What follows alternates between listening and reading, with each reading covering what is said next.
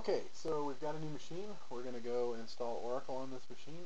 There's some things that we need to take care of first. But first, let's go ahead and log in. And then I'm going to cd to root and type in my password. And I'm going to do an fdisk and see which ones we've got. So we can see that we've got several uh, 100 gig partitions on here.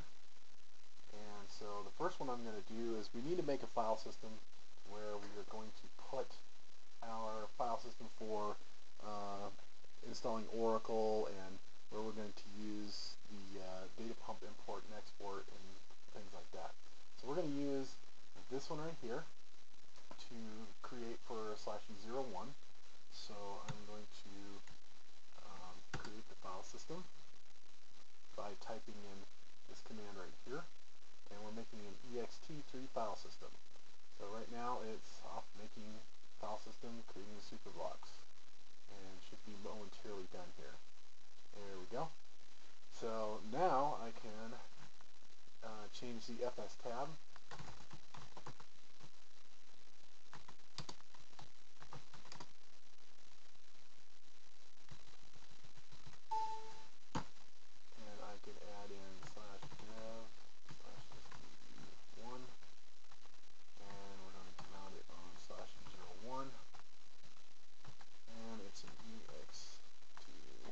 system.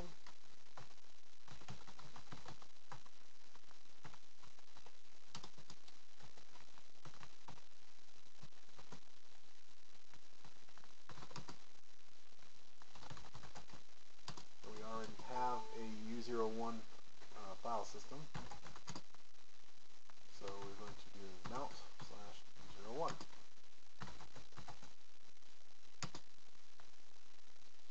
and now we have basically a 100 gig file system for us to uh, uh, create Oracle or install Oracle on.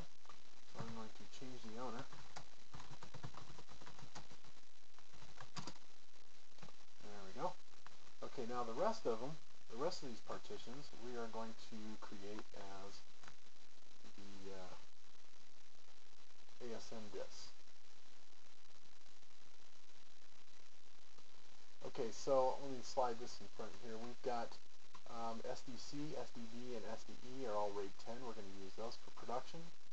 And we have SDF, G, and H should all be Okay, so to mark these as ASM disks, we're going to cd to slash etsy slash init.d and in here, you're going to see the Oracle ASM. We're going to run that. The first thing we need to do here, however, is run it with the configure option. And we're going to give it the default user to start for Oracle. The group is going to be DBA. Yes, we want to start it on boot. And scan for disks on boot.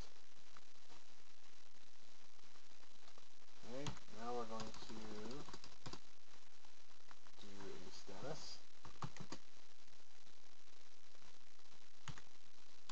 If you just give Oracle ASM by itself, it will give you all of the options available. So we're going to do an Oracle ASM start,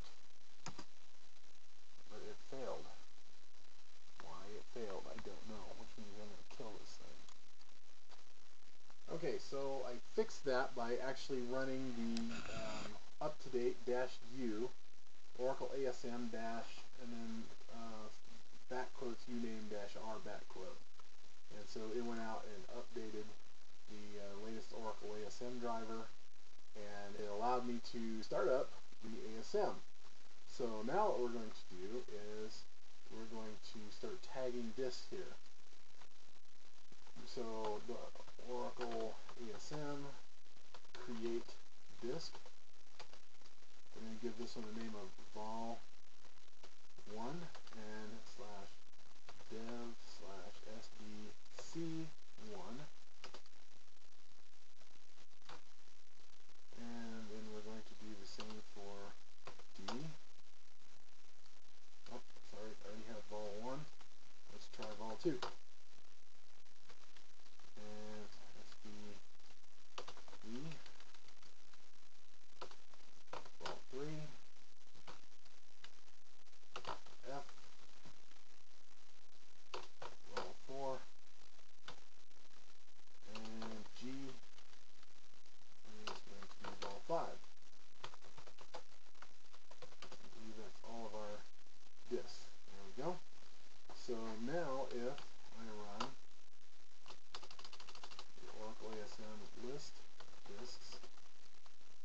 show me all of the disks that we have created.